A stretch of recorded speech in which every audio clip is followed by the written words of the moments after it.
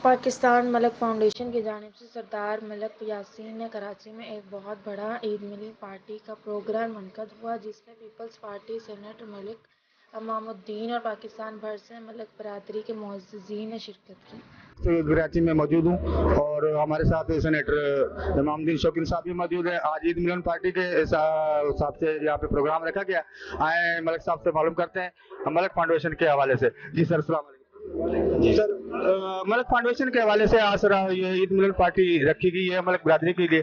तो हाजी सरदार मलक यासिन साहब की बहुत खदमात मकबूल है। मलक बरादरी से में भी और दूसरी बरादरियों में भी। सर आप इसमें थोड़ी सी रोशनी डाल दें हमें थोड़ी सी वजाहत कर दें ताकि मलक बरादरी मेरा ख्याल है अपनी स्पीच में आपको तमाम चीज़ें जो है वजाहत कर दी हैं कि पाकिस्तान मलिक फाउंडेशन एक गैर सियासी जो है वो तंजीम है। और इसमें सिर्फ़ और सिर्फ़ पाकिस्तान की मलिक बरदरी को यकजा करना और उनके इशूज़ को जो है वो एड्रेस करना है। तो अलहमदिल्ला ये तकरीबन को सत्रह साल से हमारा ये सफ़र जारी है। और हम जो है पाकिस्तान में रहने वाली मलिक बरदरी के जो मसाइल हैं, उन पर फोकस करते हैं और हम ये चाहते हैं कि पाकिस्तान की मलिक बरदरी जो है, पाकिस्तान के हर शोबा ज़िंदगी में अपना जो है वो रोल अदा करे।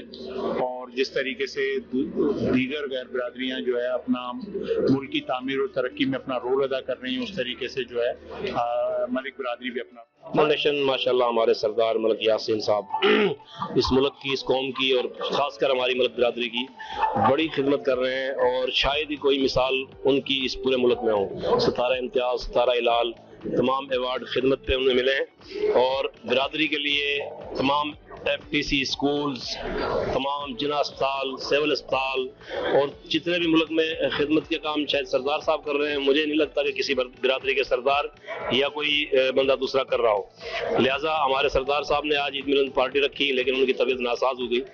और पूरे मुल्क से लोग यहाँ, माशाल्लाह, ईद मिलन पार्टी में आए हुए थे। इमामुद्दीन शौकीन साहब, हमारे सिंध के सदर सेठ मोहम्मद इकबाल साहब, तमाम लोग यहाँ इन्वाइटिंग थे। इसमें जज भी थे, इंजीनियर भी थे, वकील भी थे।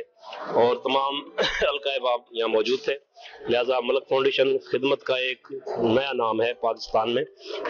इज्तिमाही तौर पर और जो भी कुछ मसले मसाले मुतहद होंगे तो हम इंशाल्लाह आगे भी बढ़ेंगे। सरदार साहब का एम यही है बस फलाई काम करना इंसानी खिदमत करना। उस हवाले से माशाल्लाह बहुत सरदार साहब और शौकी साहब आगे हैं और हम उनके साथ साथ हैं। जैसा कि हमारे सरदार मलिक यासिन साहब ने माशाल्लाह पूरे पाकिस्तान के अंदर बिरादरी को एक तस्वीर के अंदर पिरोया है और बिरादरी के अंदर मोहब्बत बांट रहे हैं और पूरे पाकिस्तान में उनके मरून मिन्नत माशाल्लाह, जितने भी टीसीएफ के स्कूल चल रहे हैं पूरे पाकिस्तान में, वो सरदार साहब की मरून मिन्नत चल रहे हैं। सरदार साहब की खास बात यह है अपनी बिरादरी का तो वो ख्याल करते ही करते हैं।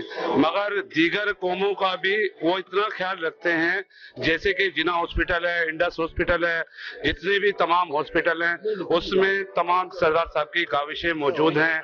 और माशाल्लाह सरदार यासिन साहब को अल्लाह ताला ने सितारा इम्तियाज़, सितारा हलाल और बहुत सारे तमगों से नवाजा।